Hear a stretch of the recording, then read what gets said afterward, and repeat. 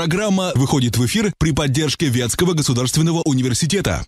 Книги рождают мечту, вызывают ее к жизни, заставляют размышлять, воспитывают самостоятельность суждений. Помогите своему ребенку полюбить мир книги вместе с магазинами «Бумага». Здесь вы найдете научную и художественную литературу для семейного чтения, развивающие игры, учебные пособия и рабочие тетради. Огромный выбор книг для исследователей всех возрастов. Читайте и изучайте вместе с сетью магазинов «Бумага». Огромный выбор книг на Октябрьском 88 и МОПРО 7.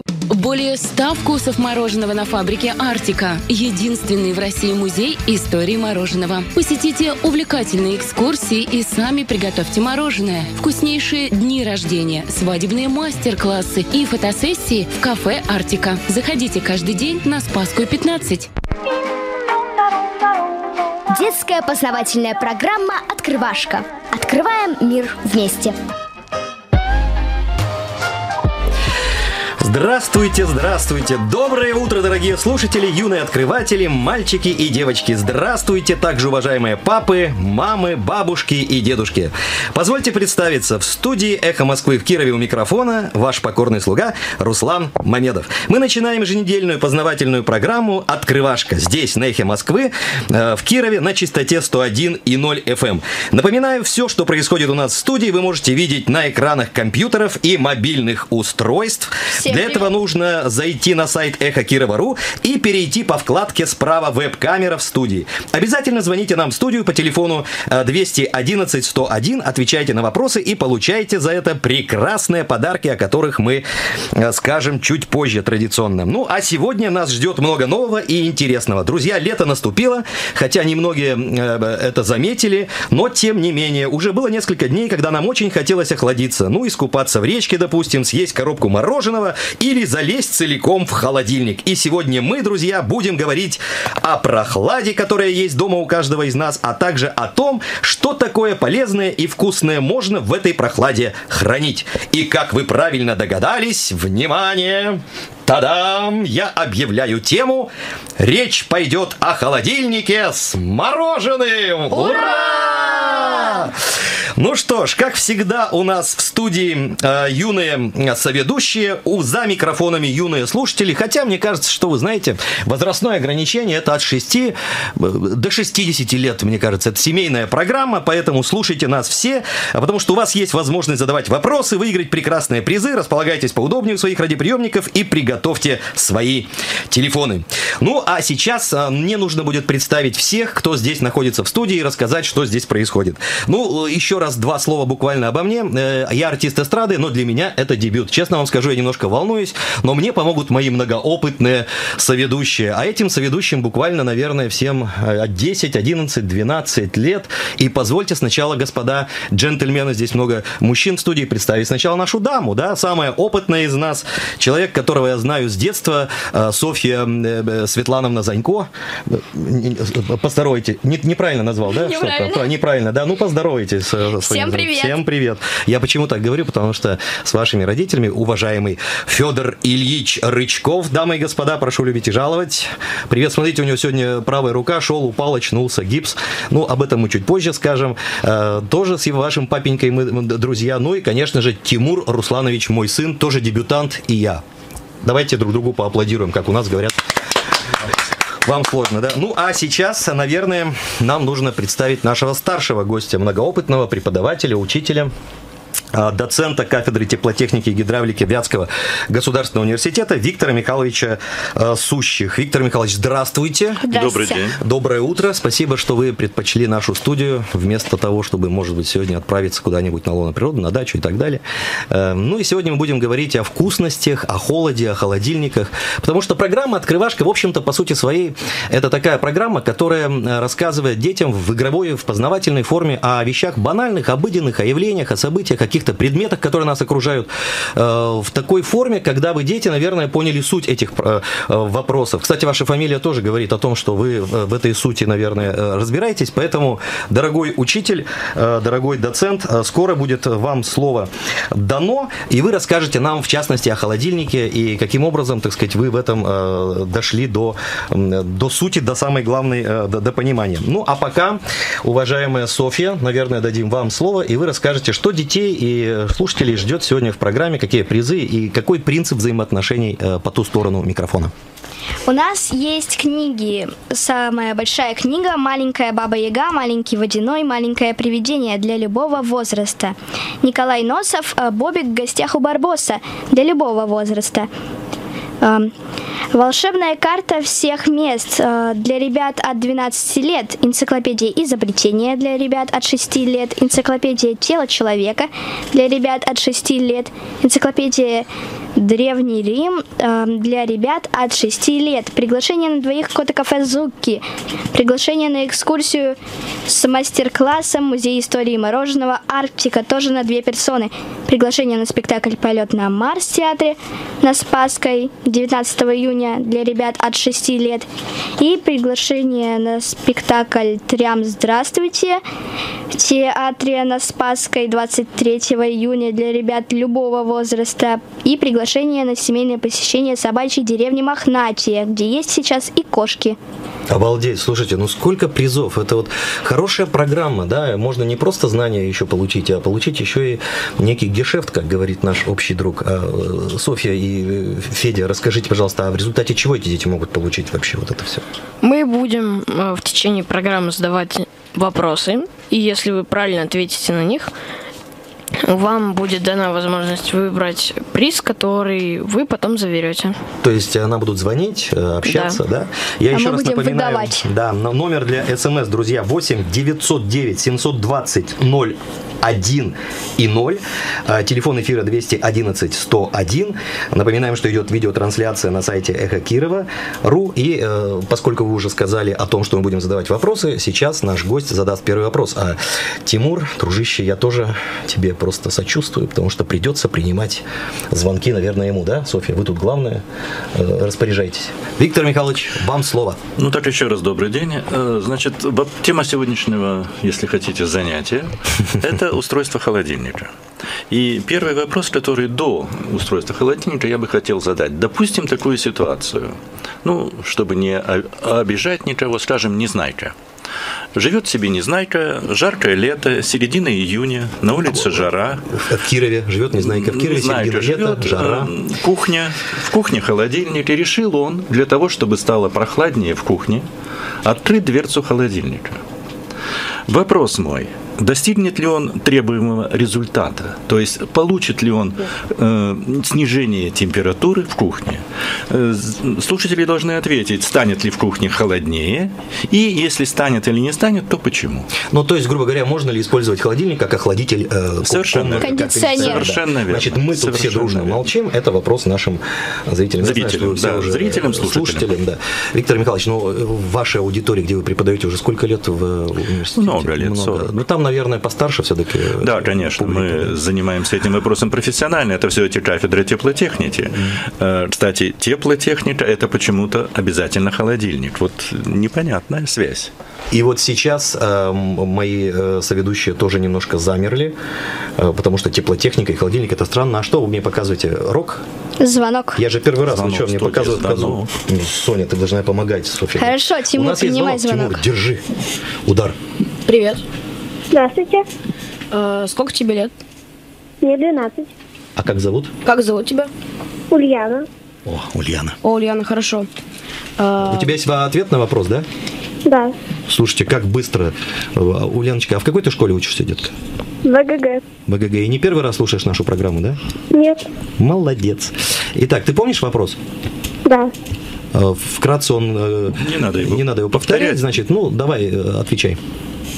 А Он не получит ожидаемого рез- результата, потому что холодильник будет размораживаться и тратить больше энергии. То есть не получится у него ничего, да?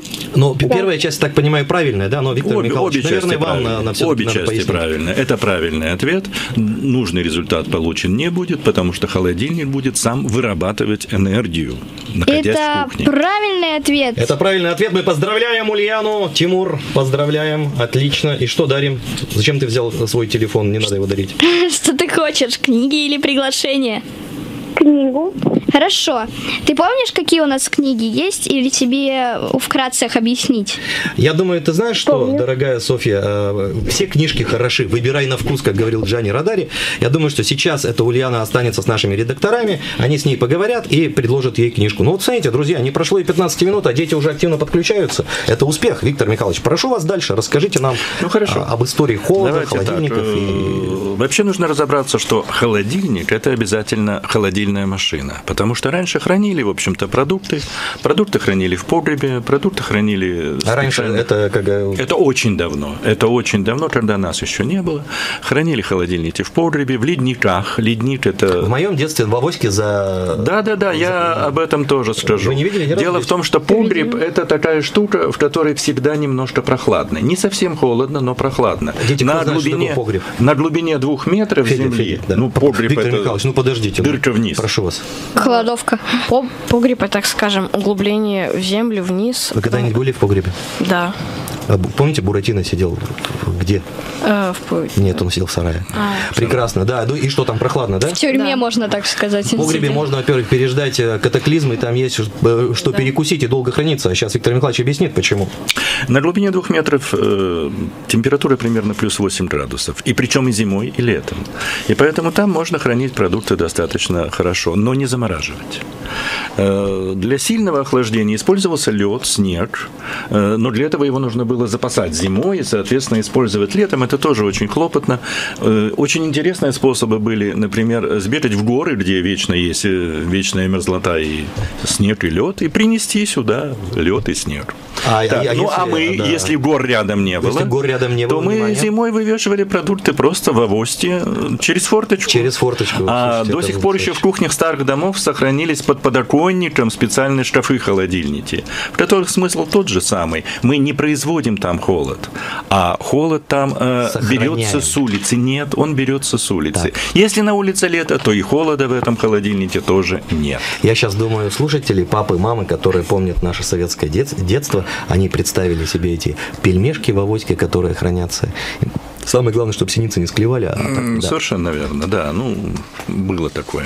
Вот, ну, а если э, вспомнить тему нашей передачи, она все-таки о том, кто придумал холодильник, О.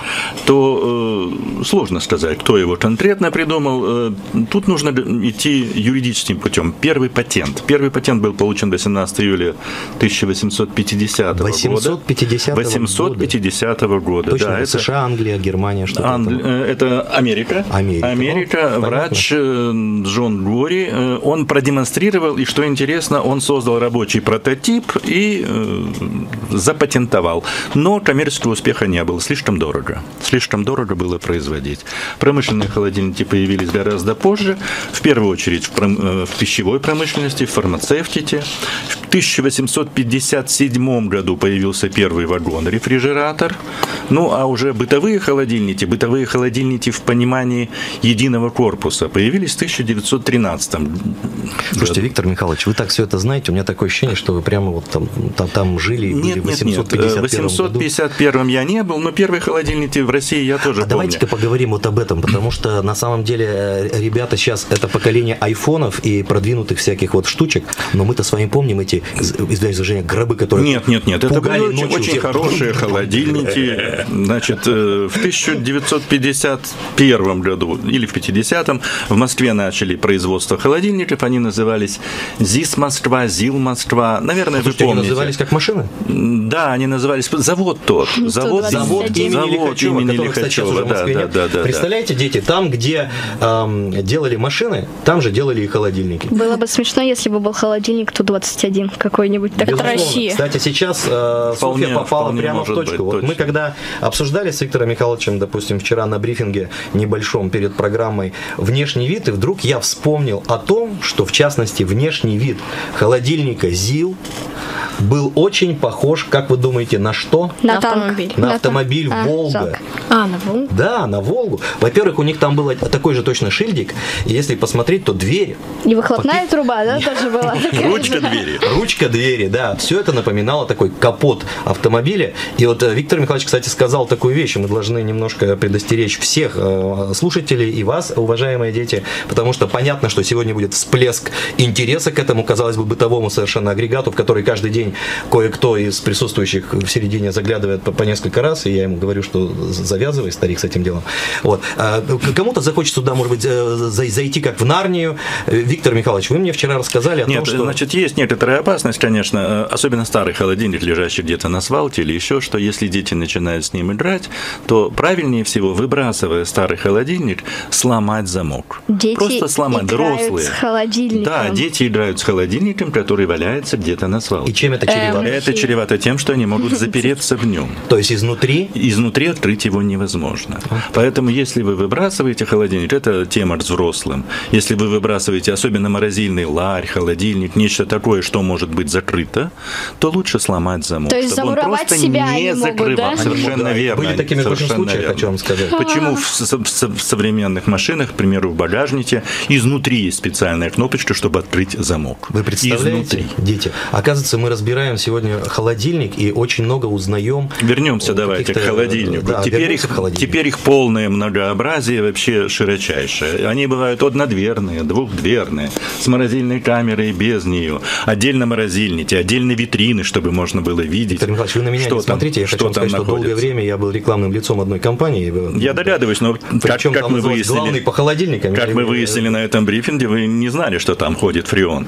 Поэтому д- давайте мы вернемся, ну-ка. вернемся все-таки э, к многообразию. Итак, бывают э, витрины, бывают всякие лари, очень интересно. А в ларях что хранят у нас? Морозильный ларь – это хранилище для Ням-ням-ням. мороженого. Ребята так заслушались, что прям... Мороженое. Хорошо, сейчас очень интересные холодильники. Если не про устройство, а про просто интересные вещи говорить. Э, вы- Высококлассные модели включают в себя всякие таймеры, все что угодно, управление термостатом ночью, днем, все по-разному. Но интересно, телевизор на дверце снаружи.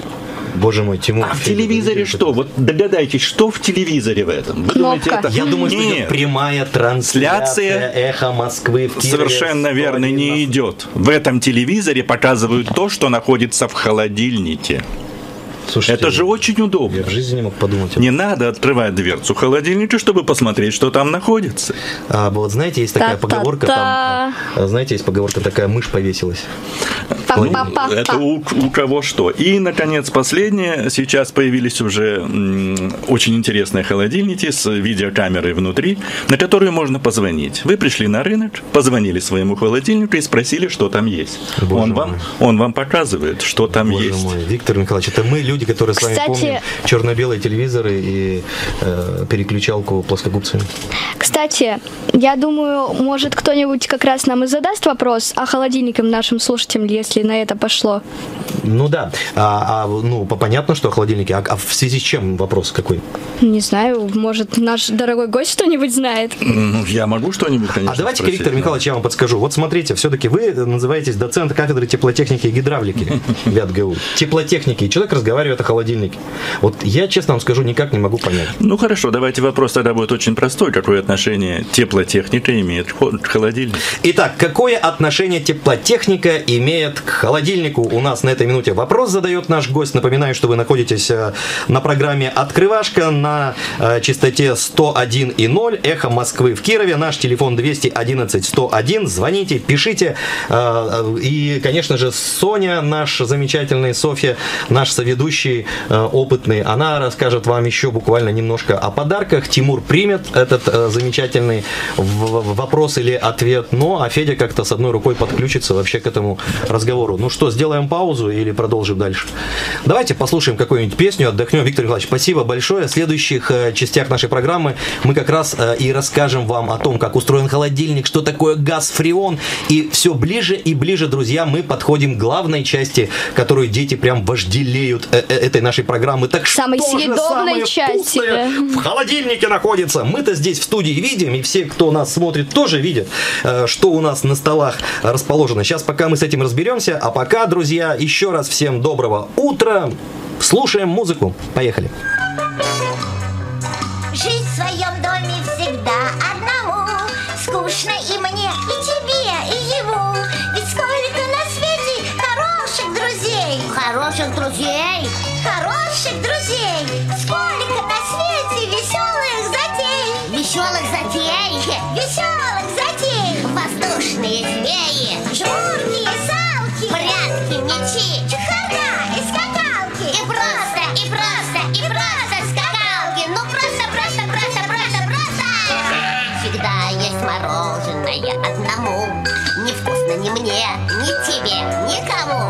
столько на свете хороших друзей. Хороших друзей, хороших друзей! Ведь столько на свете вкусных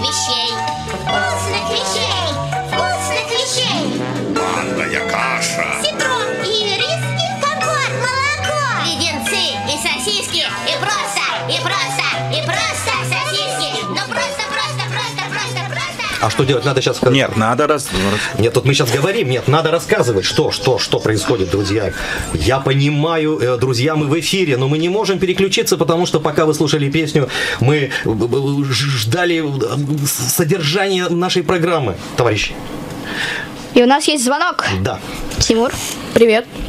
Здравствуйте, Как тебя зовут? Витя, Сколько тебе лет? 8. Остановите. Вите надо выйти, хочется сказать. От этой песни страдает миллионы Вить. Так, давайте дальше. Витенька. Витя, у тебя есть ответ на вопрос? Да. Ну, Давай, отвечай. Холодильники не- нельзя ставить на у, у, у- батарей и, и, или прочих приборов. Витя, скажи, пожалуйста, э, деточка, а кто там тебе на- нашептывает рядом? Вот я Главное, чувствую. что ответ лет? был. Лет сколько? Скажи, кто там с- рядом с тобой? Бабушка. Ой, мы сестра. приветствуем нашу бабушку, приветствуем вас, потому что это программа для всей семьи. Здравствуйте, бабушка. Ну что, Виктор Николаевич, правильный ответ наш Витя выдал? Не, не совсем. Не совсем. Мне бы хотелось услышать все-таки другое. Э, Важный принцип работы холодильника в том, что это не производство холода. Ну, Это, вы не будете возражать, если мы Вите тоже конечно, за- конечно, Давайте вы- бесспорно. Это очень правильный ответ. А теперь вы Если вы скажите. повышаете температуру рядом с холодильником, холодильнику становится хуже. Это правильный ответ. Это То есть он болеет. Да, ему становится тяжело дышать, тяжело жить, потому что вокруг стало очень жарко. Наоборот, вынесите его на улицу, поставьте его в снег, ему будет совсем хорошо. Хорошо, Витя, давай Но- ты пообщаешься Да, с но я-то понимаю. Что вы имели в виду как раз о принципах взаимодействия вот э, Да, холодильника и тепла, да? При свете. Потом- Ви- Наши Витя, редакторы да, выйдут непременно. Прошу. Потому что песня Вите надо выйти. Да, меня, Вите надо меня выдать. тоже Вите надо. Вите надо выдать. Вас тоже касается. Прошу вас. Тепло и хол- холод. Прошу Ну, вас. теперь давайте подумаем вот о чем. Холодильник – это не устройство, которое производит холод. Ух ты. Он отводит теплоту от продуктов. То есть отнимает тепло. Не дает нечто, а отнимает тепло. То есть холодильник – это, по сути, своей тепловой насос. То есть он перекачивает тепло из холодного пространства холодильной камеры в окружающую среду, то есть э, окружающему воздуху в кухне. Причем, что интересно, например, горячая батарея отдает тепло в комнату Так. сама по себе, ей не надо в этом помогать. Тепло от горячего идет к холодному само по себе. А вы когда-нибудь видели, что вы тепло от холодного шло к горячему само по себе? Никогда не идет. Никогда. Тут приходится сильно помогать. И вот для этого нужен тепловой насос. То есть тепловой насос потребляет электроэнергию из сети для своей работы и способствует тому, чтобы теплота передавалась от холодного к горячему. Проще говоря, холодильник. Да, Можно получал. объяснить э, попроще? Ну, там, не знаю, Можно маленьким. Допустим, холодильник берет и всасывает воздух э, из окружающей среды. Его, так скажем, внутренний механизм охлаждает этот воздух, и потом э, этот воздух э, выходит м, в холодильник, в саму холодильную камеру, и, э, то есть, э, как бы Еда и, еда и все то, что находится в холодильнике, не могут э, стать теплым, потому что холодный воздух идет на них. Спасибо, Федя. Но мне- Кондиционер а, для мне казалось, продуктов. что Виктор Михайлович все-таки говорит Немножко про другое. а- об обратном. Ну-ка, давайте еще раз. другое. Воздушные холодильники есть, такие холодильники, но сейчас... То есть, по сути своей, что холодильник делает? Он отбирает тепло, понижая температуру, да? Да, совершенно. И выгоняет это тепло. А теперь вопрос, куда? Почему в, э, в Выгоняет это тепло на, на заднюю стенку. Давайте разберемся. Самая главная вещь, которая есть в холодильнике, в современном, бытовом, нормальном, фреон. Фреон – это вещество, которое... Слушайте, в там- кондиционерах есть в машинах. Совершенно верно. Это чуть-чуть позже. Но главное, что в холодильнике есть фреон. Это то вещество, которое таскает тепло. Это маленький вагончик. Это что, газ или жидкость? Что это А такое? вот в том-то и дело, что очень хитрая вещь. Он одновременно и газ, и жидкость. Бывает где-то в холодильнике газ, где-то в холодильнике Он не вреден? жидкость. Нет, аб- абсолютно. Для человека он не вреден. До 1930 года, когда фреона еще не было, там были разные другие вещества, в том числе и очень вредные для дыхания, вредные для глаз. Сейчас этого нет. Фреон не вреден для человека абсолютно. Некоторые старые виды фреона вредны для окружающей среды, в частности для озонового слоя, но это уже другая немножко в любом тема. случае фреон в Итак, каком-то еще раз. закрытом герметичном Главное, агрегате в закрытом герметичном агрегате в- так сказать, по кругу В трубках? путешествует в трубочках фреон. А кто его гоняет? А гоняет его компрессор. Что такое компрессор? Это насос на газ. Газовый насос. Это называется компрессор. Компрессор гоняет этот самый фреон по кругу. А элементов в холодильнике всего четыре.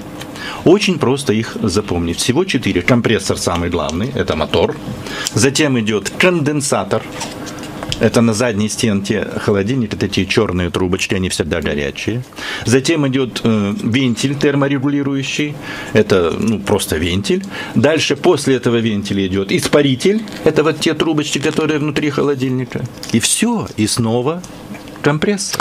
И вот сейчас я смотрю на наших детей и понимаю, что дети, э, как говорит молодежь, залипли слегка. Дети залипли. Виктор Михайлович, это было потрясающе. Спасибо вам за то, что вы это рассказали. У меня в связи с этим буквально есть несколько вопросов. А, Скажите, пожалуйста, Софья, значит, чуть не сказал Илья, Федя, вам не говорят частенько, закрывай холодильник? Да, говорят. Он пищит. Он сам мне говорит, Так, закрывай вот меня э, я хотел быстрее». задать вопрос нашему гостю. Э, Принципиально ли это? Потому что мне вот лично всегда казалось, закрывай холодильник, иначе он, там, не знаю, сломается, что-то произойдет. Вот насколько принципиально закрывать холодильник? И не страшно ли это, если ребенок чуть-чуть вот э, забыл э, закрыть холодильник? Если чуть-чуть забыл, это не страшно. Сов- Современные холодильники, с ними, в общем, ничего не произойдет. Ну, нежелательно ставить в холодильник очень горячие большие кастрюли супа, например, горячего, только что вскипевшего.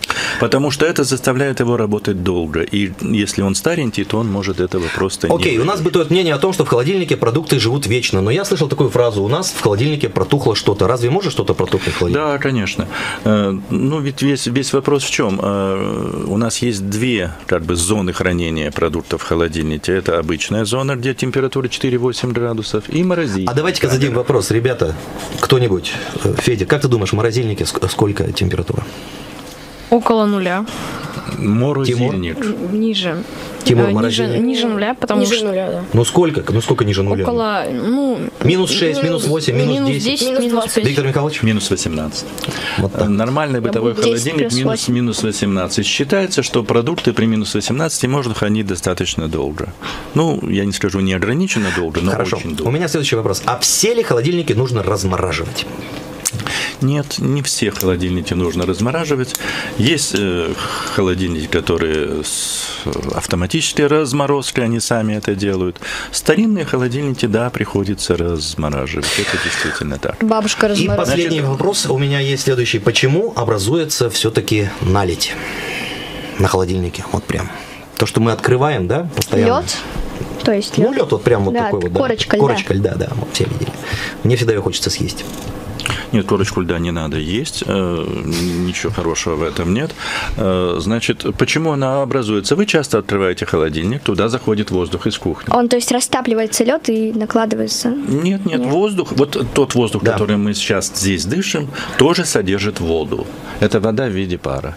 Это влажный воздух. Когда он попадает в холодильник, там становится холодно, эта вода выпадает в виде росы, в виде тумана и оседает на стенках холодильника. Чем чаще вы его открываете, тем больше вы будете иметь льда на этом холодильнике. Как в природе, то есть, получается. Совершенно верно. Как вот бывает утром туман, Это вот то самое.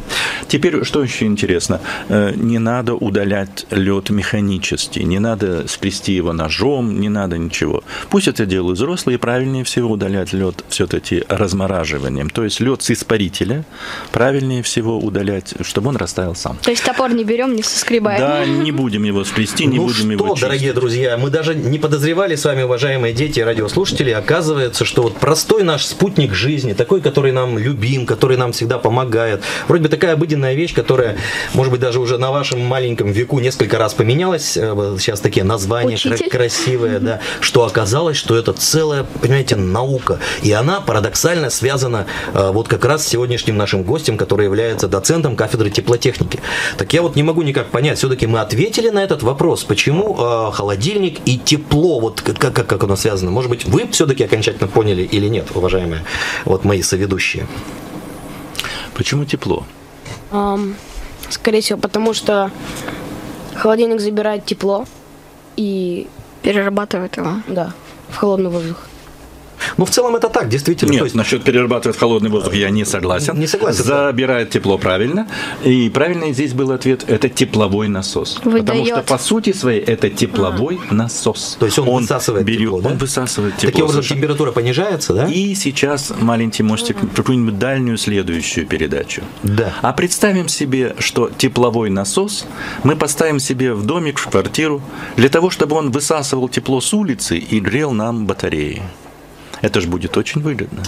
Слушайте, Это же получается очень выгодно. Виктор понимаешь? Николаевич, давайте на этом мы сейчас, потому что кто-нибудь обязательно тизнет нашу с вами эту идею. Идея, Давайте мы- идея это много лет, она достаточно известна, но как у нас- согла- согласитесь, что что-то в этом есть. Что-то в этом есть, и я вам так хочу сказать. Честно говоря, Мы бы могли болтать об этом У, у вечно. меня пришла на мысль такая вот и, э, так- так- такое воспоминание о фильме «Миллионер из трущоб». Никто не смотрел? Вот так- такой индийский фильм. А Там в детстве молодой человек очень много узнавал вот в таком э, игровом познавательном э, формате, значит, какие-то знания, и потом в результате эти знания помогли ему в жизни. Так вот, мы хотим сегодня, чтобы в такой форме, благодаря Виктору Михайловичу, я думаю, надо его поблагодарить за этот прекрасный э, совершенно экскурс, мы узнали нечто такое, чтобы потом нам э, это все доставило комфорт, наслаждение и радость в жизни. И спасибо за просвещение этого всего. Ну что, у нас, может быть, есть звонок или что-то в этом роде? Нет, да? Еще раз мы напоминаем, друзья, звоните, у нас есть очень много подарков. Сейчас мы вновь дадим, э, значит, много. э, да, чересчур много дадим слово очаровательной Софье. Она немножко расскажет о подарках.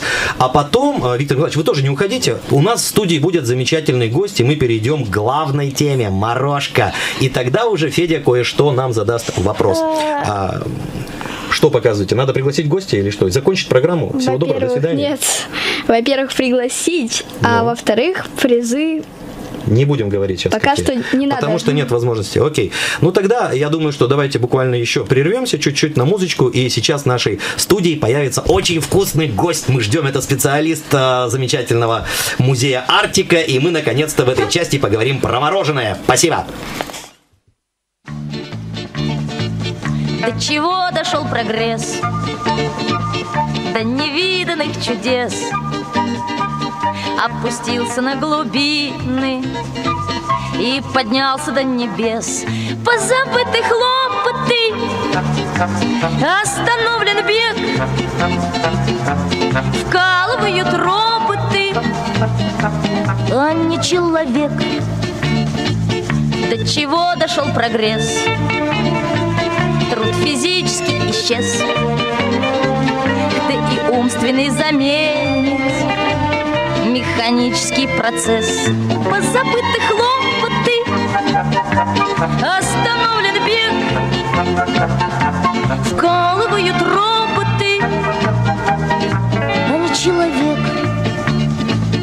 До чего дошел прогресс? Было времени в обрез. Теперь гуляй по свету Хочешь с песней, хочешь без. Позабыты хлопоты. Остановлен бег. Вкалывает роботы. Счастлив человек Это чрезвычайно вкусно. Это чрезвычайно вкусно на программе «Открывашка» на «Эхо Москвы» в Кирове. У нас появилась в студии мороженое. Сегодня мы говорим о холоде, о мороженом. У нас, как всегда, в студии наши дети ведущие. Меня зовут Руслан Мамедов, я у микрофона. В первой части нашей программы, в, в- в большой достаточно, мы поговорили о холодильниках. А сейчас пришло время поговорить о главном лакомстве лета и многих, многих жителей планеты. О мороженом! Мороженое в студии у нас у всех сейчас в Креманках. Мы его едим. Да, и с удовольствием, прежде чем мы к этому перейдем, мы даем слово нашим юным ведущим. Во-первых, прошу вас, Софья Занько. Я хочу задать вам вопрос по мороженому. Из чего эскимосы э, делали мороженое? А, эскимосы, ну, это сложно назвать их такой Нет, десерт. это я слушателям хотела. Извините, извините. Я вас еще, Не- Настя, не я понимаю, что вы все знаете, но пусть наши слушатели нам ответят. Так, из чего эскимосы делали мороженое? Э, Следующий э, сет у микрофона я передаю нашему однорукому бандиту, как он называется в, в истории, нашему уважаемому Феде Рычкову. Прошу вас. А, Я хочу задать вопрос, который начнет, так скажем, историю всего м, мороженого и Слушай, всех давайте только холодных гостям, да, наверное? Да, это гостям вопрос. Во времена кого начали замораживать там, не знаю, ягоды, фрукты и делать фруктовый лед? Да? Но я думаю, что нам сейчас ответит наш гость, очаровательная, э, симпатичная, э, великолепная девушка Анастасия Макарова, экскурсовод Музея истории мороженого Арктика. Мы вас приветствуем на программе. Здравствуйте, дорогие друзья, здравствуйте, радиослушатели. Итак, вопрос. А Когда начали замораживать э, фрукты, фруктовые соки? Ну, например, во времена Александра Македонского ему к столу подавали э, снег с соком и даже иногда охлажденное вот почти до замороженного состояния вино. Ничего себе. Да, было и такое. Мороженое для взрослых. Слушайте, Ну, да. во-первых, Анастасия, спасибо вам, это вы принесли, да? Да, это я Это очень принесла. вкусно, видите, даже Виктор Михайлович уплетает. А сразу интересно узнать, а где брали холод? А, Где брали холод, Виктор Где брали холод? Де- Дела обстояли так. а, За холодом, я уже слышала, вы это обсуждали, нужно было отправиться в горы. В горы, да, высоко в горы, И доставить этот снег, Пусть Федя еще повторит его урок. и Ну-ка, сохранить. Настя. Э, Отправляясь за холодом, за льдом, за снегом в горы, специально тренировали людей, чтобы они быстро бегали и успели приносить снег и лед. Грандиозно. Виктор Николаевич. Ваш урок не прошел зря. Не забывайте, что у вас, кстати, нет микрофона, если что. А, Настя, вот скажите, пожалуйста, здесь очень много лежит всяких штучек, э, всяких вот э, креманочек, всяких... э, Кстати, в нашу молодость, я вам хочу сказать, было веком, верхом шика пригласить девушку, например, в кафе мороженое, коих было безграничное количество по всей стране, по Советскому Союзу, и накормить вот мороженым из вот таких креманок. Вот какие это штуки? Это из вашего музея тут, да? Да, это экспонаты из нашего музея. Вот эти непонятные штуки, на первый взгляд, это ложки для мороженого. Радиослушатели-то это не видят, но те, кто нас смотрит, они, Ну, да? Я надеюсь, да, что нас многие смотрят и видят, что я показываю. А, также здесь есть а, упаковки. Упаковки, А, смотрите, какие. Американские в основном, Ice да, cream. так как американцы начали а, первыми Ice cream, производить мороженое что в в промышленных переводе, масштабах. Софья? Мороженое? То есть оформлять саму коробочку? Ну, то есть, да, если они производят крем. в промышленном масштабе, появляется много фабрик по производству мороженого, нужно к своей продукции как-то привлечь покупателей, упаковки становятся яркими, красочными, собственно. А почему у меня такие черные пальцы от мороженого? Потому что вы едите мороженое с чернилами каракатицы. Мне нравится это Чем я ем? мороженое. С чернилами каракатицы. Друзья мои, это, это потрясающе, это впервые в жизни.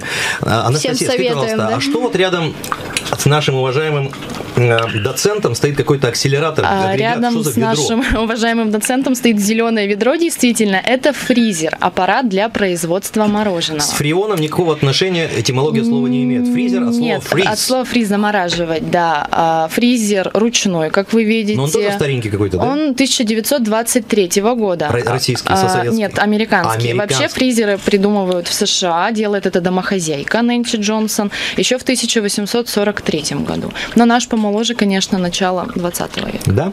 Слушайте, а то есть я так могу сказать о том, что в бытовых условиях дома тоже можно сделать мороженое, да?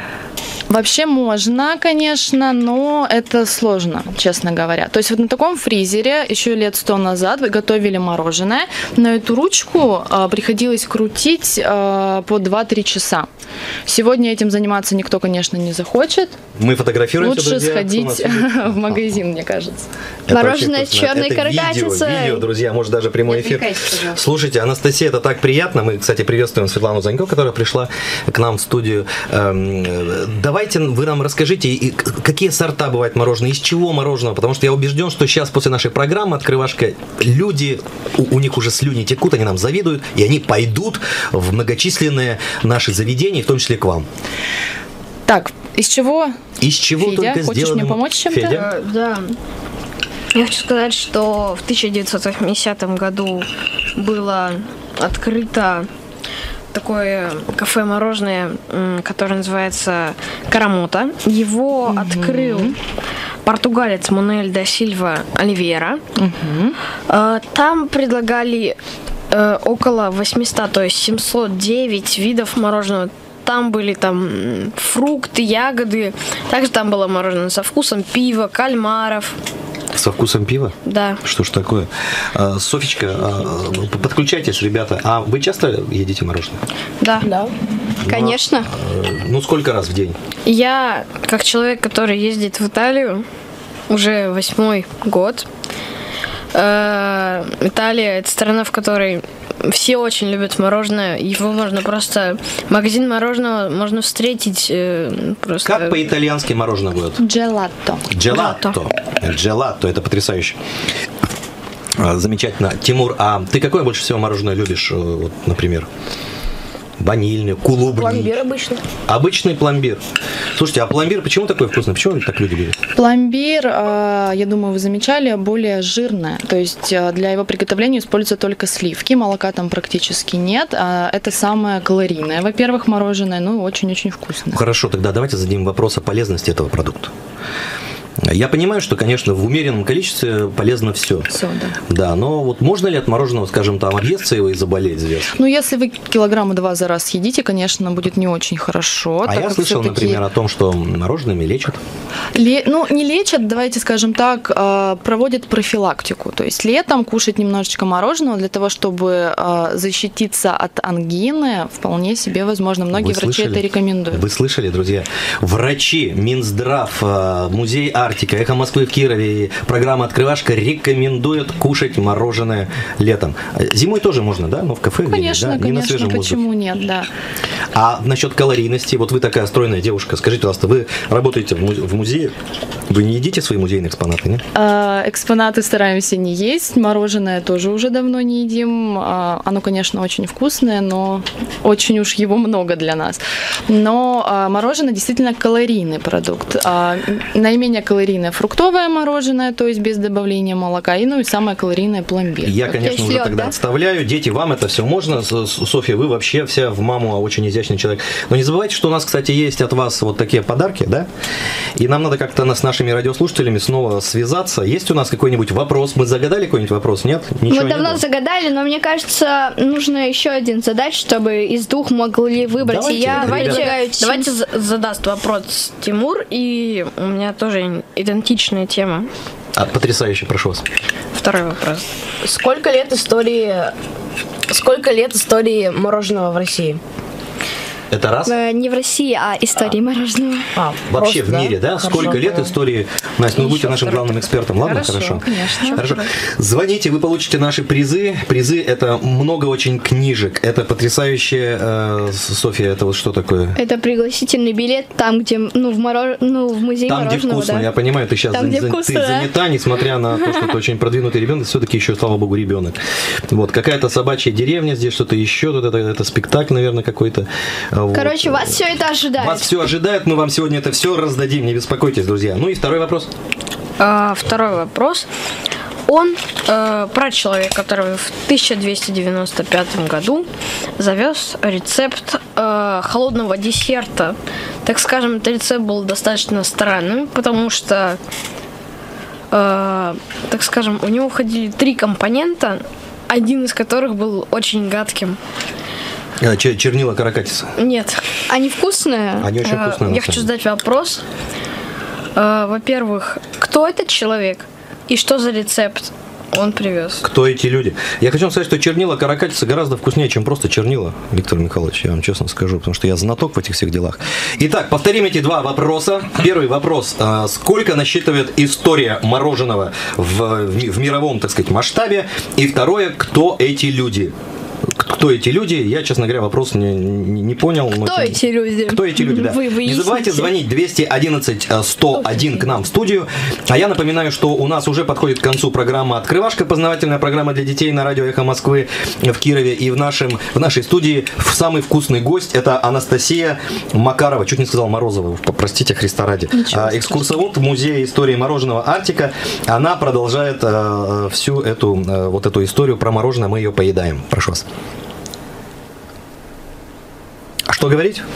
Ну, расскажите хотя бы о том, э, я не знаю, сколько там производит э, ваша фабрика, э, почему она в Кирове появилась. Мы знаем, что туда люди ходят с- Ну, со всей Да, страны. действительно, у нас при музее есть фабрика мороженого Артика. А, На данный момент мы обладаем секретами приготовления 107 вкусов мороженого. Господи.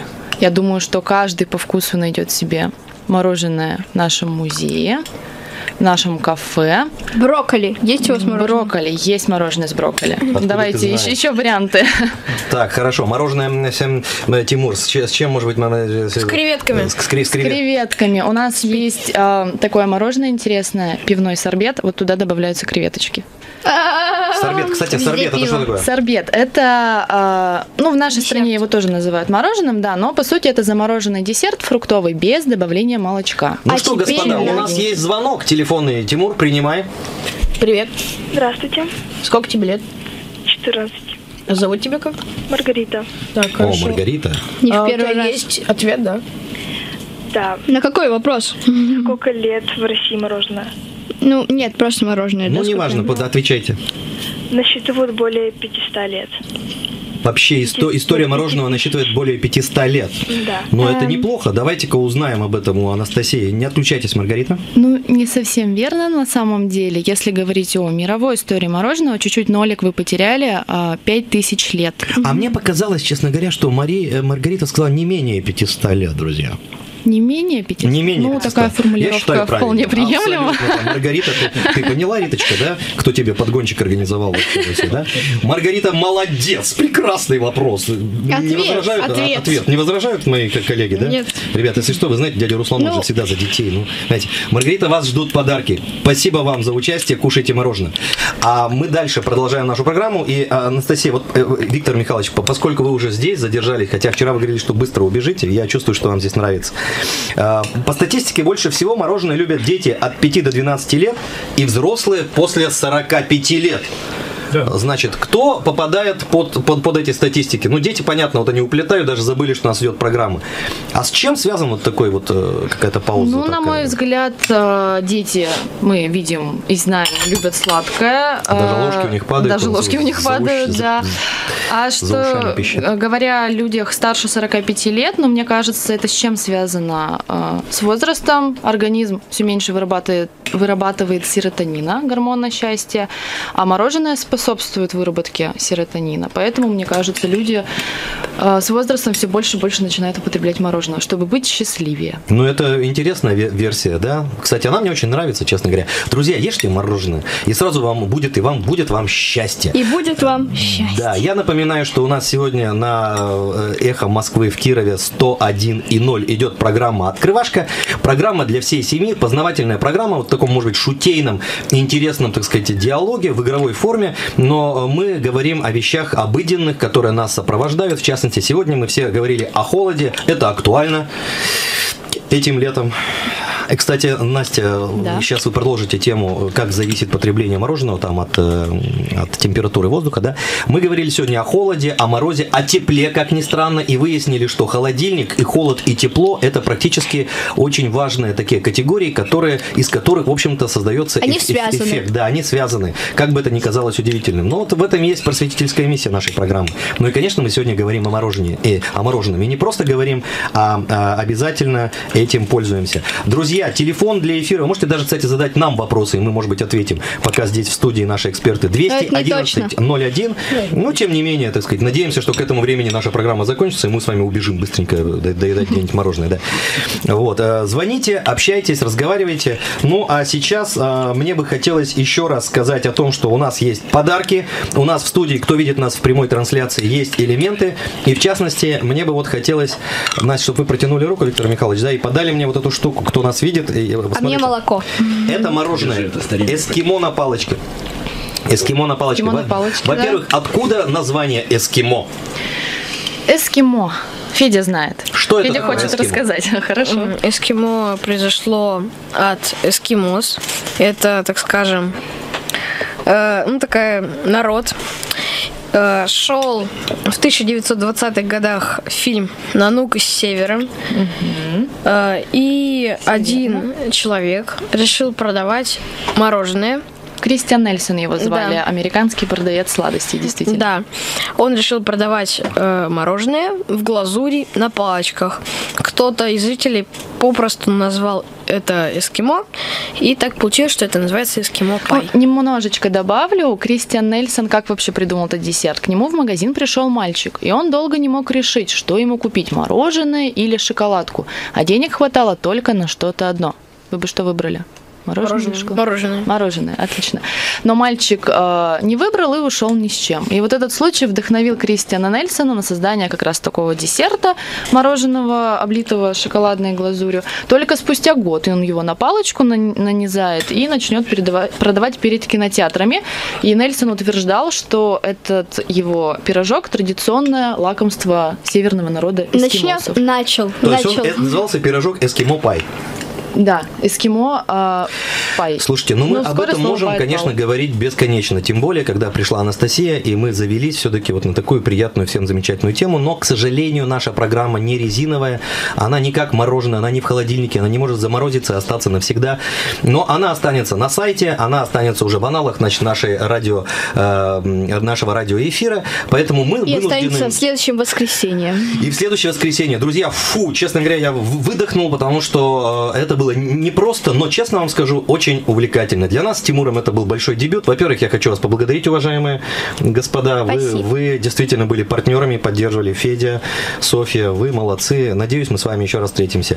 Все радиослушатели, я думаю, что видят, как они сейчас друг друга э, поздравляют. Мы благодарим вас за участие. Уважаемые родители, уважаемые дети, мы желаем вам успеха, счастья, берегите здоровье. Слушайте радио «Эхо Москвы» в Кирове и программу «Отрывашка» каждое воскресенье в 10.00. Виктор Михайлович Сущев, спасибо вам за то, что вы провели это утро с нами, с детьми. Ну и Анастасия Макарова, вы были очаровательны. Вы, во-первых, я вам хочу сказать, привнесли нотку э, какого-то э, оптимизма, честно говоря, серотонина, я бы даже сказал, в нашу программу. Ну и это мороженое из чернил морской каракатицы просто потрясающе. Друзья, Ваше меня- любимое? да. Э, Я думаю, что будем прощаться. Давайте э, каждый буквально по одному слову скажет. И э, пойдемте э, дальше. Федя, Не болейте. Тимур, Сегодня обойдемся без прощаний. До свидания. правильно. Ешьте больше мороженого. Прекрасно, Анастасия. Ешьте больше мороженого. Ну и я, ведущий программы, сегодня дебютант. Благодарю всех за доброе расположение духа. Руслан Обедов, прощаюсь с вами. До новых встреч. Слушайте открывашку. Пока!